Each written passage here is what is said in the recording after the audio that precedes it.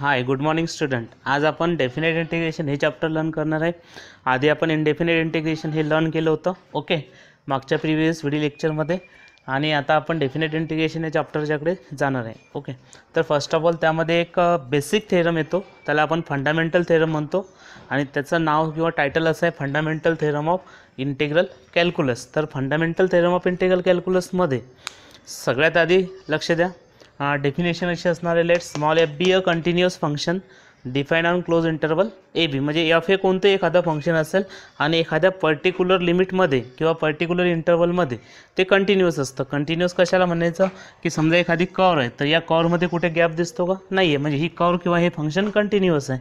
Okay आणि जर समजा एखादी कॉर ही असेल आणि यामध्ये जर तुम्हाला गॅप दिसतो तर ती कंटिन्युअस कॉर नसते. मग आता जर समजा एपासून ते बी पर्यंत जर हे पूर्ण फंक्शन कंटिन्युअस असेल तर मग आपण त्याला खाली फंडामेंटल थेरम ऑफ इंटेग्रल कॅल्क्युलसमध्ये डिफाईन करू शकतो अशा पद्धतीने. ओके सध्या क्लोज इंटरवल वगैरे हे तुम्हाला माहीत नसतील पण सेट या चॅप्टरमध्ये आपण क्लोज इंटरवल वगैरे सगळेच्या सगळे लर्न करणार आहे. ओके पुढचं एक दोन लेक्चर त्याच्यावरच असणार आहे आपलं. Let small f be a continuous function define on close interval a b फक्त एवढं लक्षात ठेवा हा क्लोज इंटरवल ए बी असतो. ठीक आहे तर आता आपण परत बेसिकनुसारच जाणार आहे. की काल आपण जे सांगितलं होतं की लेटस्ट सपोज त्या स्टँडर्ड वेने डिफाईन करू त्याला. स्टँडर्ड वेने डिफाईन करायचं असेल तर मी परत एकदा डिफाईन डेफिनेशन अशी घेतो. ई की स्मॉल एफ हे स्टँडर्ड फंक्शन असेल कोणतंही त्याचं इंटेग्रल ओके काढलं तर किती मिळतं?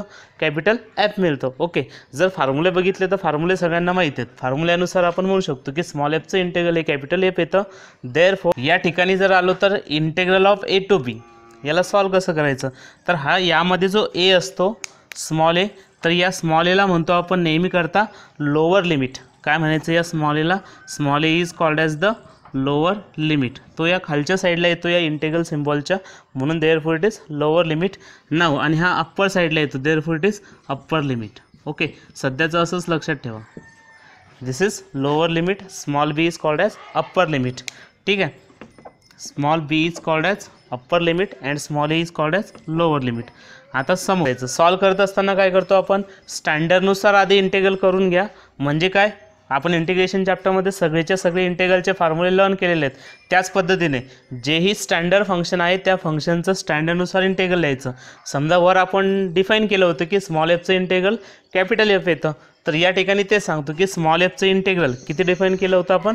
कॅपिटल एफ म्हणून स्मॉल एफचं इंटेग्रल येतं कॅपिटल एफ ऑफ एक्स हे आपण मग आता राहिला प्रॉब्लेम कोणाचा? या लोअर लिमिटचा आणि अप्पर लिमिटचा तर मग या लोअर लिमिट आणि अप्पर लिमिटचं काय करायचं?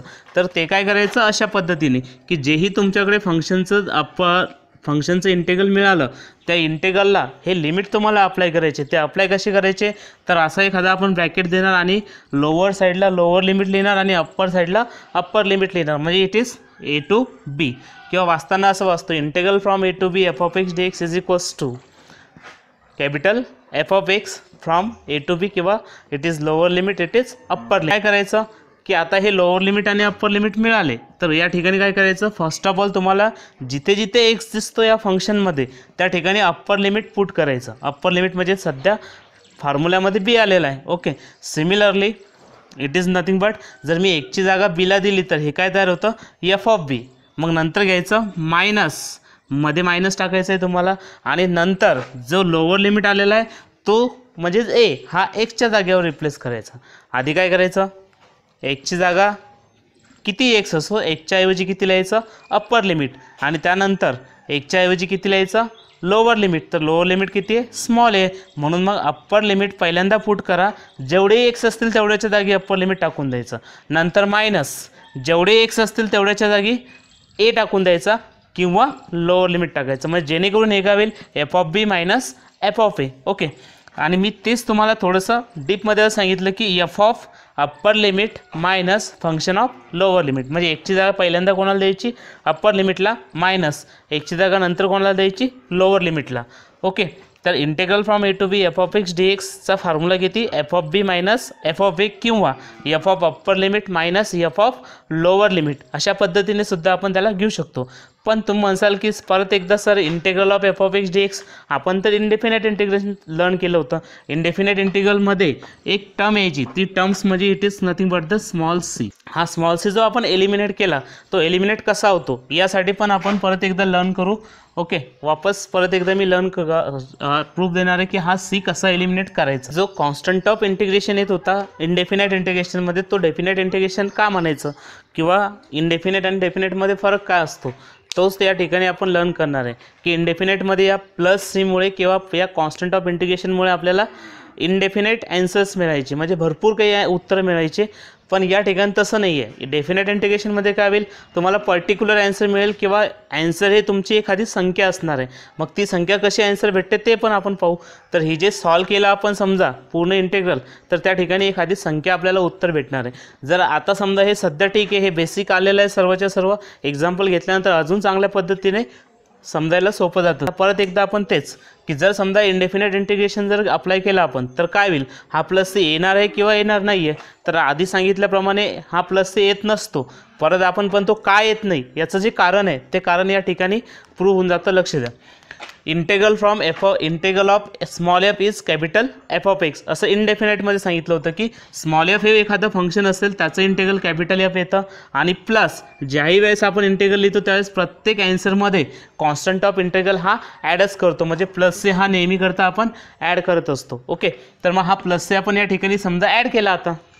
तर स्मॉल एफचं इंटेगल किती येतं मग? Capital F of x plus c okay तर बाय डेफिनेशन परत एकदा आता आता जर समजा आपण इन डेफिनेट इंटिग्रेशनमध्ये आलो तर डेफिनेट इंटिग्रेशनमध्ये त्याला लोअर लिमिट आणि अप्पर लिमिट इंटेग्रलला असतातच.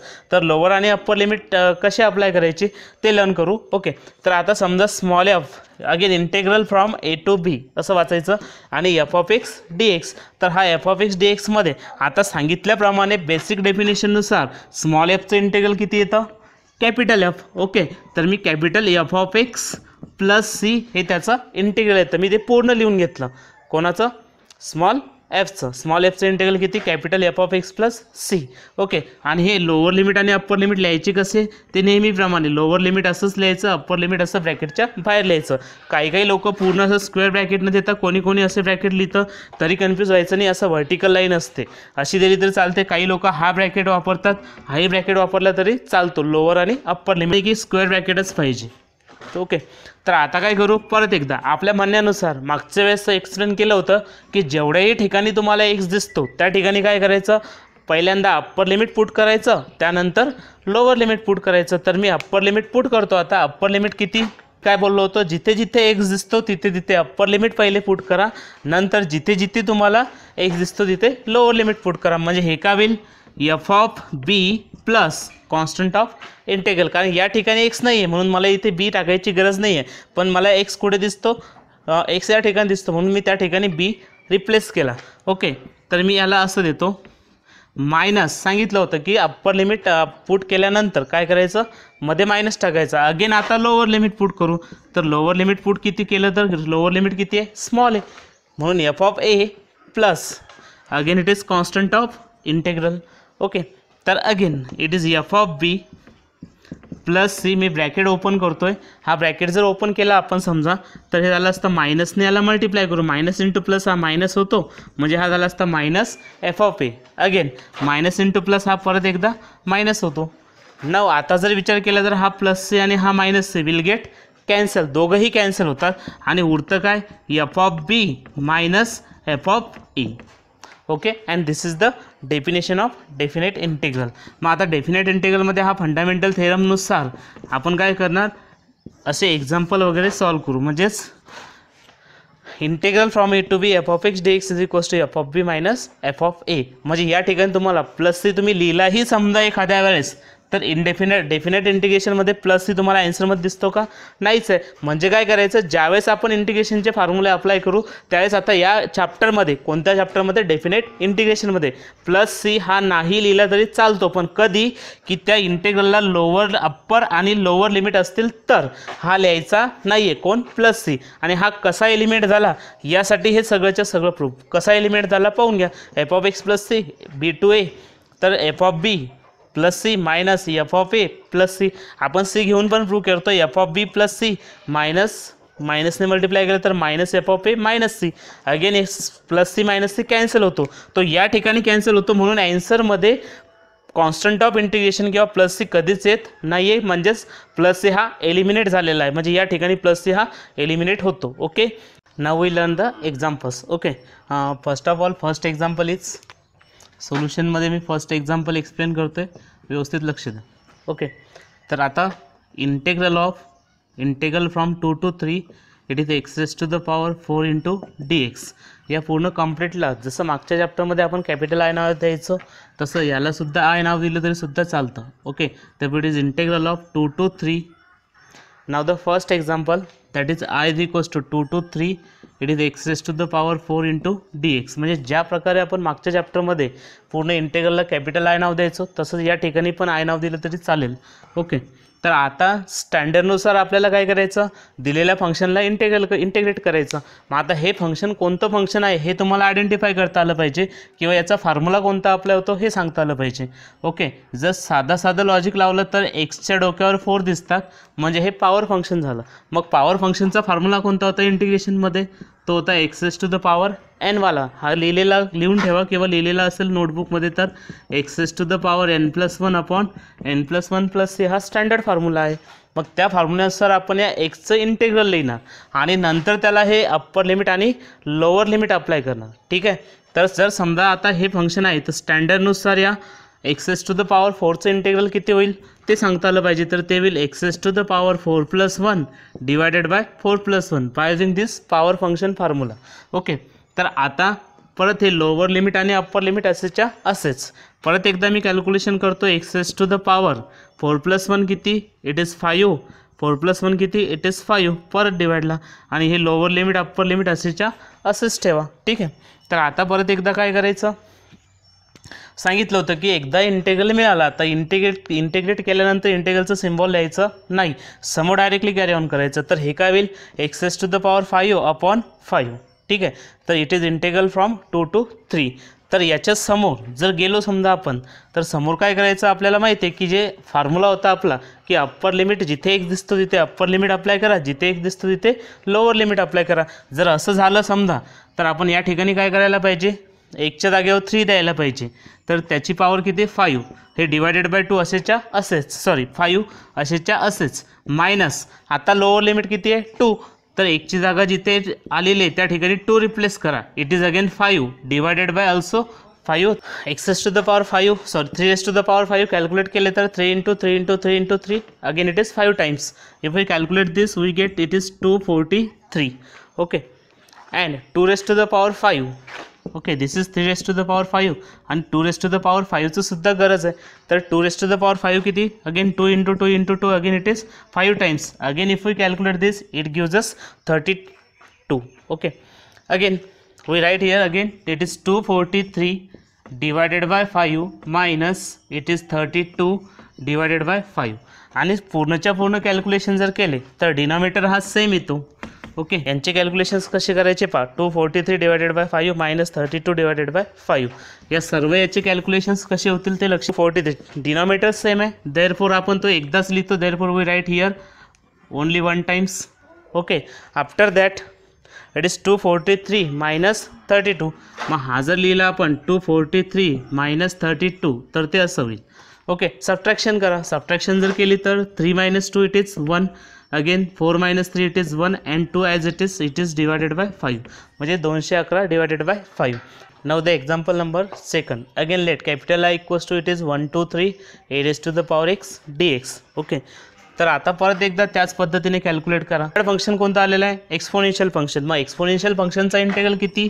ओके तर एक्सपोनेन्शियल फंक्शनचं इंटेगल असं असतं a raise to the power x divided by log a okay this was the exponential function आता एक्सपोनेन्शियल फंक्शनला इंटिग्रेट जर केलं तर तो असा देतो ओके हे झालं integral a raised to the power x divided by log a आणि हे जे लिमिट असतात ते असेच अप्लाय करायचे. It is one two three okay तर परत एकदा आपलं काम काय असणार आहे? एक लक्ष द्या आता. जर समजा असे कॉन्स्टंट असले ए कॉन्स्टंट आहे म्हणून लॉग ए ही टर्म कॉन्स्टंट असते. मग कॉन्स्टंट असेल तर तो तुम्ही त्या इंटेग्रलच्या बाहेर हा डिवाइडला आहे म्हणून मी वन अपॉन लॉग एला कॉन्स्टंट बनतो तो बाहेर घेऊ आणि राहिला प्रश्न या a raise to the power एक्सचा तर त्याला आता आपण लिमिट अप्लाय करू. लिमिट म्हणजेच हे अप्पर लिमिट आणि हे लोअर लिमिट दोन्ही जर अप्लाय केले तर हे होईल one upon log a one upon log a आणि याला अप्पर लिमिट जिथे एक दिसतो तिथे थ्री रिप्लेस करा आणि जिथे एक दिसतो तिथे वन रिप्लेस करा. मग अप्पर लिमिट किती? A raise to the power three एकची जागा मी थ्रीला देतो.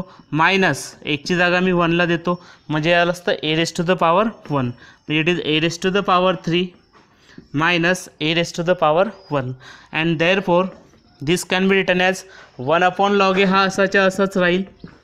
This is one upon log a into clear a raise to the power three minus a a raise to the power three minus a तर या ठिकाणी हे ए cube आहेत. म्हणजे three Times ए झाले आणि या ठिकाणी a raise to the power one म्हणजे वन टाईम्स ए झाले. तर या दोघांमधून ए ए सारखा दिसतो तर तो मी बाहेर घेतो किंवा त्याला कॉमन घेऊ आपण. जर ए हे बाहेर घेतलं तर हा या ठिकाणी ए बाहेर आला असता. म्हणजे या थ्री टाईम्स एमधून एक ए बाहेर गेला उरले किती? Two times a two times एला ए स्क्वेअर लिहितात. आणि ए बाहेर गेला तर किती? it is again just 1 and divided by all this that is nothing but the log of a it is the constant okay a into a square minus 1 upon log a is the final answer this is nothing but the example number second example number 3 let us suppose that capital i is equals to it is 0 to 1 again 3 raised to the power x into dx परत एकदा हे exponential function आहे आत्ताच सांगितल्याप्रमाणे e raise to the power एक्सचं integral किती येतं A raise to the power x upon log a okay मी आत्ताच formula लिहिला होता.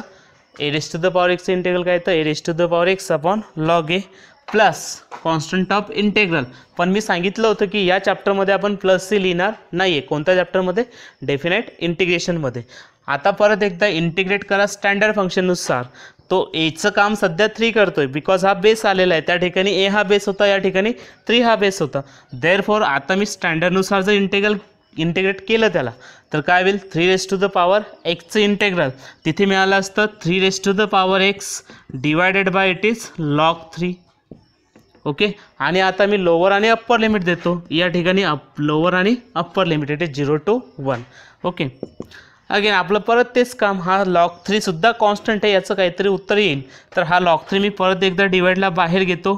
डिवाईडला असल्यामुळे मी त्याला वन अपॉन लॉग थ्री म्हणून कॉन्स्टंट घेतो. इन टू परत हा three raise to the power x असाच ठेवतो कारण आपण लिमिट कोणाला अप्लाय करतो आहे फंक्शनला किंवा एक्सवाल्या टर्म्सला तर एक्सवाली टर्म्स जर घेतली तर किती? Three raise to the power x आता आपलं तेच काम की upper limit minus lower limit म्हणजे ज्या ज्या ठिकाणी आपल्याला एक्स दिसतो तिथे वन रिप्लेस करा.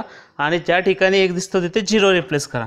तर अप्पर लिमिट जर पुट केलं समजा आपण तर ते मिळालं असतं three raise to the power one minus lower limit जर पुट केलं तर three raise to the power zero okay after that it is one upon log three as it is into यांचे कॅल्क्युलेशन यांचे कॅल्क्युलेशन्स करा.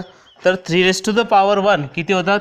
Three minus three raise to the power zero is nothing but the one हा three raise to the power zero one का होतो?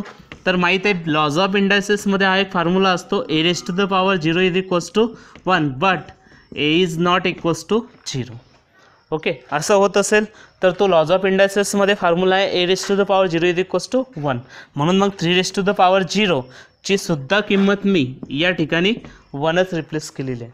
ठीक आहे? तर again it is three minus one किती? टू तर हे मिळालं असतं two divided by it is log three it was the example number three again let capital I is equals to मी नाव कॅपिटल आयनेच देतो. It is zero to two it is two x plus one into d x आता हे example दोन प्रकारे solve करता येतं. Power फंक्शननुसार solve करता येतं. किंवा प्रत्येक टर्म्सला इंटेग्रल सेपरेट करता येतं. प्रत्येकाला इंटेग्रल सेपरेट करून सॉल्व केलं तरीसुद्धा चालेल. किंवा पॉवर फंक्शनने सॉल्व केलं तरीसुद्धा चालेल. ओके तर आपण काय करू याला? प्रत्येकाला इंटेग्रल सेपरेट करून सॉल्व करू. ओके आपल्याकडे हा एक रूल होता आठवत असेल तर it is integral of f of x plus g of x असा एक रूल होता into d x okay indefinite इंटिग्रेशनमध्ये म्हणजे आपण काय करायचं की जर दोन फंक्शनची ॲडिशन असेल तर प्रत्येकाला इंटेग्रल सेपरेट करायचो. म्हणजेच असं झालं असतं त्याचं integral of f of x d x plus integral of g of x d x असं त्याचं इंटेग्रल येतं. ओके व डेफिनेटमध्ये सुद्धा तोच ॲडिशनचा सेम रूल आपण अप्लाय करू शकतो. म्हणजे याला जर लोअर लिमिट आणि अप्पर लिमिट अप्लाय केले असतील तर with lower limit and upper limit तुम्ही ही प्रॉपर्टीसुद्धा सेपरेट करू शकता. म्हणजे प्रत्येक टर्म्सला तुम्हाला इंटेग्रल हे सेपरेट करता येतं. इथेसुद्धा तसंच होईल.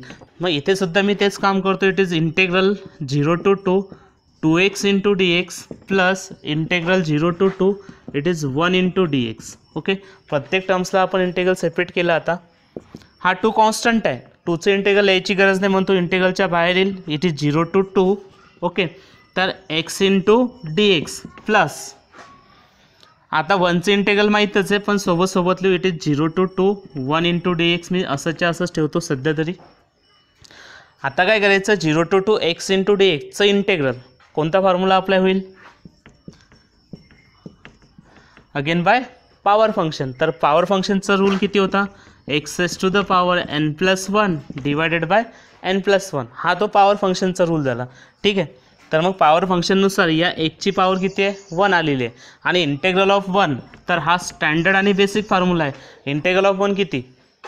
That is nothing but the x plus c plus c okay now it is 2 times. Integral of x raised to the power 1 gives us it is x raised to the power 1 plus 1 divided by 1 plus 1 okay आणि lower आणि upper limit again same टाईपमध्ये put करा it is zero to two okay plus integral of one is nothing but the just standard formula therefore it is integral of one is nothing but the x आणि आधीच सांगितलं होतं की या चॅप्टरमध्ये आपण प्लस सी हा कॉन्स्टंट ऑफ इंटेग्रल लिहिणार. नाही आहे डेफिनेट इंटिग्रेशनमध्ये ओके तर परत एकदा सॉल्व करूयाला टू इन टू हा झाला असता x square by two okay zero to two plus याला upper limit minus lower limit म्हणजे जिथे एक्स दिसतो तिथे टू अप्लाय करा नंतर झिरो अप्लाय करा. म्हणजे झालं असतं टू मायनस ऑफ झिरो ठीक? आहे परत या ठिकाणी. हा जो टू डिवाइडला आलेला आहे हा कॉन्स्टंट आहे. हा कॉन्स्टंट आहे तर मी त्याला वन अपॉइंट टू डिवाइडला असल्यामुळे वन अपॉइंट टू कॉन्स्टंट घेत असतात. ओके तर डिवाइडला आहे म्हणून मी हा वन अपॉन टू कॉन्स्टंट घेतला आणि एक्स स्क्वेअरला हे लिमिट अप्लाय करायचे बाकी आहे टू मायनस झिरो किती होता? It is just two okay तर after that this two two get cancel आणि एक्स स्क्वेअरला आपण लिमिट अप्लाय करू. एक्स स्क्वेअरला लिमिट अप्लाय केले तर हे होईल two square minus it is zero square okay upper limit minus lower limit हे plus two as it is दोनचा स्क्वेअर या ठिकाणी two square is just four minus this is zero okay plus it is two again this is four minus zero किती? Four plus it is two that is nothing but the six now the example number five again let capital I equals to it is integral of zero to pi by four into it is cos x d x okay आता ज्यांना five by four वगैरे हे measurement असतात angle major करण्याचे दोन methods आहेत. एक येतं डिग्री मेजर आणि दुसरं असतं रेडियन मेजर त्यामध्ये रेडियन मेजर तुम्हाला लर्न करायचे आहेत अँगल अँड इट्स मेजरमेंट चॅप्टरमध्ये तोही टॉपिक आपल्या पुढ पुढील व्हिडिओ लेक्चरमध्ये येणारच आहे. ओके तर zero to pi by four it is cos x d x मग स्टँडर्ड फंक्शननुसार परत स्टँडर्ड फंक्शन आयडेंटिफाय करा. Cos x is nothing but the standard तर कॉस एक्सचं इंटेग्रल किती होतं? इंटेग्रल ऑफ कॉस एक्स हे आता तुम्हाला आठवायलाच पाहिजे किंवा हे रिमेंबरच पाहिजे की इंटेग्रल ऑफ कॉस एक्स किती? That is sine x plus constant of integral कारण साईनचा डेरिव्हेटिव्ह हा कॉस येतो म्हणून कॉसचं इंटेगल हे साईन होतं. ठीक आहे? तर मी लिहितो मग या ठिकाणी. It is sine x it is zero to pi by four okay स्टँडर्डनुसार मी इंटेगल लिहिलं कॉसचं कॉसचं इंटेगल किती आहे? साईन एक्स सिम्बॉल निघून जाईल इंटेगलचं आणि हे लोअर लिमिट आणि अप्पर लिमिट असे अप्लाय करायचे. Zero to pi by four आता परत एकदा आपलं तेच काम की ज्या ठिकाणी एक्स दिसतं त्या ठिकाणी ते लिमिट अप्लाय करा. अप्पर लिमिट अप्लाय करा त्यानंतर लोअर लिमिट अप्लाय करा. आता जर अप्पर लिमिट अप्लाय केलं इथे तर ते झालं असतं sine pi by four minus sine zero okay तर हे जे अँगल्स आलेले आहेत हे रेडियन मेजरमध्ये तर मग आता साईन पाय बाय फोर म्हणजे काय? हे तुम्हाला माहीत पाहिजे. तर साईन या फंक्शनला तुम्ही ओळखता ट्रिग्नॉमेट्रिक फंक्शन आहे. आणि साईन पाय बाय फोर म्हणजे असतो तो पंचेचाळीस डिग्री ओके तर मग साईन पंचेचाळीस डिग्रीची किंमत आपण टेन्थमध्ये पण लर्न केली असेल. It is one upon root two after that दुसरं एक येतं साईन झिरो. ओके तर हा साईन झिरो इथे रॅडियनमध्ये आहे. तर तो या ठिकाणी साईन झिरो डिग्री जर म्हटलं तुम्ही तर साईन झिरो डिग्रीची किंमत किती? झिरो येते. देअर फोर दोन्ही किमती टाकून देऊ आपण. साईन फाय बाय फोर किती? One by root two minus sine zero किती? Sine zero is again zero one by root two minus zero is again one by root two now we learn example number six okay example number six let's suppose that again त्याला capital आयने denote करूया. It is zero to pi by two it is sine x into d x okay आता मी formula वगैरे काही लिहित नाही. फॉर्म्युले तुम्ही बाय हार्ट लेक्चर नंबर टेनमध्ये तुम्ही पूर्णच्या पूर्ण फॉर्म्युले लिहून घ्या आणि अंडरस्टँडसुद्धा करा. ओके तर zero to pi by two it is sine x d x तर या साईन एक्सचं जे इंटेग्रल होतं ते इंटेग्रल होतं आपण कॅल्क्युलेट केलेलं आहे. त्या ठिकाणी ते इंटेग्रल मिळालं होतं आपल्याला मायनस कॉस एक्स ओके आणि लिमिट अप्लाय करायची आता या चॅप्टरमध्ये सगळ्यात जास्त इम्पॉर्टन्स आहे ते लिमिट कसे अप्लाय करायचे हे शिकायचं आहे तुम्हाला. Okay it is equals to minus of cos x zero to pi by two मग आता परत एकदा लिमिट अप्लाय करा. कसे होतील लिमिट जिथे एक एक दिसतो तिथे पाय बाय टूला रिप्लेस करा आणि जिथे झिरो दिसतो तिथे झिरो जिथे एक दिसतो तिथे झिरो रिप्लेस करा. म्हणजे it is minus cos of मी पहिलं लिमिट अप्लाय करतो it is pi by two okay तर मध्ये असतो मायनस साईन म्हणून मी इथे मायनस साईन लिहितो. परत एकदा एकची जागा मी झिरोला देतो. या एकची जागा मी झिरोला देतो. तर it is minus of cos zero okay again radian system आहे. रॅडियन सिस्टीममध्ये पाय बाय टूला ओके तर फाय बाय टूला किती म्हणतात? नाईंटी डिग्री म्हणतात. तर कॉस नाईंटी डिग्रीची किंमत तुम्हाला माहीत पाहिजे होती. त्यानंतर कॉस झिरो रॅडियनला कॉस झिरो डिग्री म्हणतात. तर कॉस झिरो डिग्रीची किंमत तुम्हाला माहीत पाहिजे. कॉस झिरोची किंमत नेहमी करता वन असते आणि कॉस नाईंटीची किंमत नेहमी करता झिरो असते. तर मी ह्या किमती दोन्हीच्या दोन्ही रिप्लेस करतो आहे तर त्या अशा होते it is minus of okay cos ninety हा किती येतो? कॉस नाईंटी हा झिरो येतो. तर इथे ही पहिली किंमत झाली असते झिरो कारण आपण झिरोच्या समोर कधीच निगेटिव्ह साईन लिहित नसतो. ओके म्हणून मी डायरेक्टली काय करतो या ठिकाणी झिरो लिहितो. नंतर मायनस इंटू मायनस तर ते प्लस होणारच आहेत पण बिफोर दॅट हा मायनस मी असाच लिहितो. कॉस झिरोची किंमत किती होती? वन होती. म्हणून मी त्या ठिकाणी वन लिहितो. ओके तर हे झालं असतं झिरो मायनस इंटू मायनसमध्ये येईल प्लस हा वन ॲज इट इज आणि झिरो प्लस वन किती होतात? ओके झिरो प्लस वन किती होता? It is equals to one means this is the example number six similar त्या पूर्णच्या पूर्ण एक्झाम्पलला डिनोट करतो. Capital आयने it is zero to pi by four zero to pi by four it is sec square x into d x okay now solve this again standard function ओळखा. Standard function आलेलं आहे sec square x sec square एक्सचं integral किती येतं? ते आपल्याला माहीत पाहिजे. मग सेकस स्क्वेअर एक्सचं इंटेग्रल जर माहीत असेल बेसिक तर ते सेकस स्क्वेअर एक्सचं इंटेगल येतं टॅन एक्स ओके आणि मी त्याला लिमिट अप्लाय करतो इथे zero to pi by four okay परत आपलं काम तेच upper limit minus lower limit म्हणजे ज्या ठिकाणी एक दिसतो तिथे अप्पर लिमिट टाका मायनस ज्या ठिकाणी एक दिसतो तिथे लोअर लिमिट टाका. ठीक आहे? तर आता मी अप्लाय करतो it is tan of pi by four minus tan of zero तर टॅन पाय बाय फोर म्हणजे परत एकदा तुम्हाला माहीत पाहिजे किंमत त्याची टॅन पाय बाय फोर ला म्हणतो आपण टॅन पंचेचाळीस डिग्री ओके आणि दहावीमध्ये झालेलं आहे की टॅन पंचेचाळीसची किंमत किती? वन आणि हे नसेलही झालं तर आपण पुढच्या व्हिडिओ लेक्चरमध्ये ट्रिग्नोमेट्री हा टॉपिक लर्न करणार आहे. त्यामध्ये ते पूर्ण डिटेलमध्ये होऊन जाईल. Okay tan pi by four is equals to tan forty five degree is equals to one and tan zero is equals to किती असतो? झिरोच असतो. म्हणून आता परत किमती टाकायच्या आहेत. टॅन पाय बाय फोरची किंमत वन मायनस टॅन झिरोची किंमत झिरो म्हणजेच वन मायनस झिरो किती होतील? इट इज जस्ट वन ठीक आहे?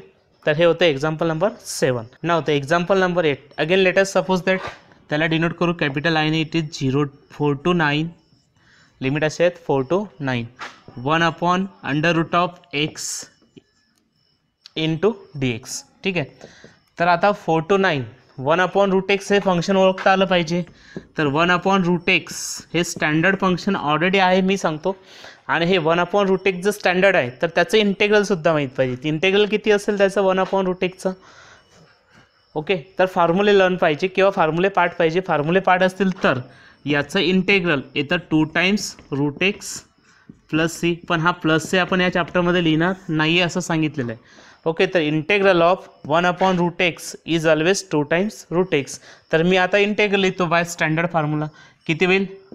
वन अपॉन रूट एक्सचं इंटेग्रल लिहिलं मी टू टाइम्स रूट एक्स आणि लिमिट अप्लाय करा. लोअर लिमिट आहे फोर आणि अप्पर लिमिट आहे नाईन देऊन टाका त्याला फोर आणि नाईन ओके तर परत आपलं तेच काम जिथे एक दिसतो तिथे अप्पर लिमिट अप्लाय करा. जिथे एक्स दिसतो तिथे लोअर लिमिट अप्लाय करा. म्हणजे first of all two times it is under root of nine minus two times under root of four again we calculate 2 times under root 9 is 3 minus 2 times under root 4 is 2 okay 2 into 3 6 minus 4 6 minus 4 answer is 2 okay this is nothing but the required example number 9 example number 9 ला परत denote करू let capital I is equals to pi by six two pi by three cos x d x after this आता काय करायचं? या cos x हे standard function आहे का ओळखा. असेल तर त्याचं इंटेग्रल माहीत पाहिजे. आपल्याला कॉसेक्स हे स्टँडर्ड फंक्शन आहे. आणि त्याचं इंटेग्रल ऑलरेडी सांगितलेलं आहे की कॉसेक्सचं इंटेग्रल हे साईन एक्स असतं. कारण डेरिव्हेटिव्ह कोणाचा आहे हा कॉस कॉस हा डेरिव्हेटिव्ह असतो साईनचा म्हणून कॉसेक्सचं इंटेग्रल आलेलं आहे sine x okay therefore integral of cos x is sine x म्हणून मी साईन एक्स लिहितो. त्यानंतर लोअर आणि upper limit lower limit pi by six आहे upper limit pi by three आहे. ओके तर परत एकदा जिथे एक्स दिसतो तिथे अप्पर लिमिट अप्लाय करा. नंतर लोअर लिमिट अप्लाय करा. अप्पर लिमिट जर अप्लाय केला आपण तर तो आला असता sine pi by three minus sine pi by six okay sine pi by three minus sine pi by six मग आता परत एकदा आपलं काम तेच. की साईन पाय बाय थ्री हा आणि साईन पाय बाय सिक्स म्हणजे काय? तर sine pi by three. Sine pi by थ्रीची किंमत असते. साईन पाय बाय थ्री म्हणजे साईन सिक्स्टी डिग्री. तर साईन सिक्स्टी डिग्रीची किंमत सगळ्यांना माहिती it is root three divided by two sine सिक्स्टीची किंमत किती असते? Root three divided by two आणि sine pi by six sine pi by six म्हणजेच साईन थर्टी डिग्री. तर साईन थर्टीची किंमत किती? हे माहीत पाहिजे. तर साईन थर्टीची किंमत असते नेहमी करता one by two. Okay? Sine थर्टीची किंमत किती? आहे वन बाय टू. मग आता ह्या किमती आपण रिप्लेस करू. तर साईन सिक्स्टीची किंमत किती? Root three divided by two minus sine थर्टीची किंमत one by two. Therefore it is one by two. Denominator सारखा आहे. तो मी एकदाच लिहितो. आणि न्युमरेटरची सम किंवा सॉरी न्युमरेटरची बेरीज किंवा वजाबाकी. तर सध्या वजाबाकी आहे म्हणून root three minus one okay and this is our final answer example number ten let capital I denote it is integral zero to one x square into d x okay तर परत एकदा त्याला लिमिट अप्लाय करा आणि standard formula ओळखा x square आलेला आहे. X square हे कोणतं फंक्शन एक्स स्क्वेअर हे पॉवर फंक्शन आहे. पॉवर फंक्शनचं इंटेगल कसं लिहायचं? हे सगळ्यांना माहीत आहे. पॉवर फंक्शनचं इंटेगल आपण असं लिहितो. That is x raise to the power two plus one divided by two plus one it is zero to one okay हे होतं पॉवर फंक्शन पॉवर फंक्शनचा फॉर्म्युला माहिती आहे. X raise to the power n plus one upon n plus one ठीक आहे? तर हा झाला असता कॅल्क्युलेशन केल्यानंतर x cube by three okay it is zero to one now परत एकदा upper limit minus lower limit upper limit जिथे एक दिसतो तिथे वन रिप्लेस करा. म्हणजे हा झाला असता one cube by three minus हा झाला असता zero cube by three okay वनचा cube हा वनच येतो. मायनस झिरोचा क्यूब हा झिरोच येतो. ठीक आहे? कॅल्क्युलेशन करून पाहू शकता. तर हा वन बाय थ्री झिरोला कितीने डिवाईड केलं किंवा मल्टिप्लाय केलं तर उत्तर झिरोच येतं. One by three minus zero one by three minus zero is one by three example number eleven एलेवनमध्ये काय करू आपण? जस्ट कॅपिटल आयने डिनोट करू आणि प्रत्येक फंक्शनला आता इंटिग्रेट करू.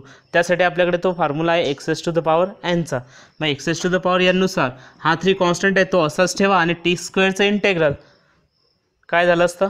ते by formula T raise to the power it is two plus one upon two plus one two plus one three होतात. म्हणून मी डायरेक्ट लिहितो T cube by three plus हा फोर जसाचा तसाच ठेवा. टी क्यूब आलेला आहे. मग आता टी क्यूबचं इंटेगल काय होईल? T raise to the power three plus one divided by three plus one तर T raise to the power three plus one म्हणजेच किती?